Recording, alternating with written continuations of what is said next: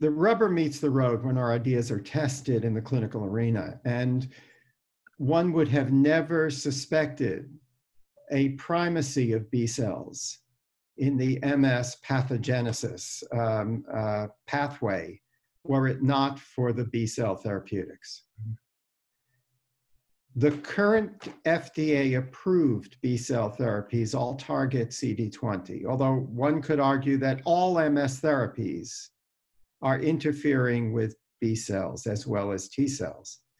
But the current B cell focus therapies affect B cells from the pro B cell early stage to the activated memory cell stage. The earliest B cell precursors are not affected, meaning that there is reliable reconstitution, so the safety of the therapeutic is, is um, assured from that perspective. And second, that most plasmablasts and all plasma cells are unaffected by B cell therapy. And that probably also is important in safety because pre-existing humoral immunity is preserved. And we know that plasma cells, for example, can live for many decades. We know that with B cell therapies, B cells to some extent and plasma cells to a greater extent are not eliminated from the nervous system. And this is probably a driver of progressive MS. So, more effective ways to eliminate B cell overactivity within the central nervous system and in the meninges is essential. The the great advantage of BTK inhibitors, in addition to the fact that they are orally administered, um, is that they are effective against some of these B cell populations that are typically resistant to CD20 therapies, and especially activated plasmablasts.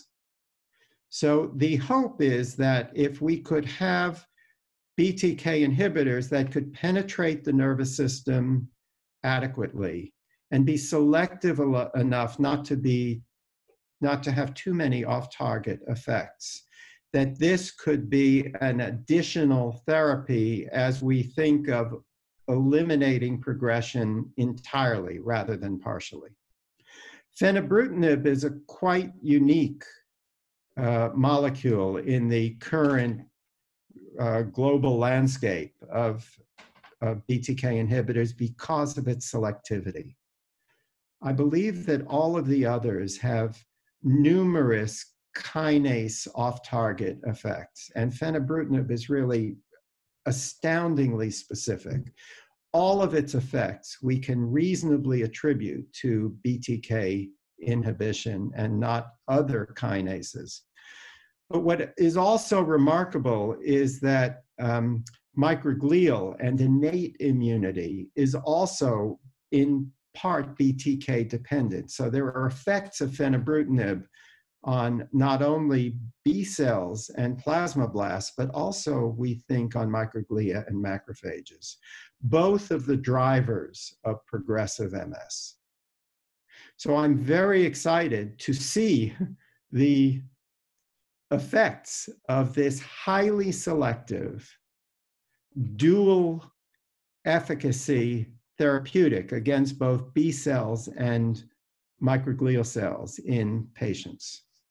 Um, and what we have presented is just the description of the trials that will address fenebrutinib. Um, but I think that this is a very exciting step forward for the unsolved half of the disease, treating progressive MS completely effectively.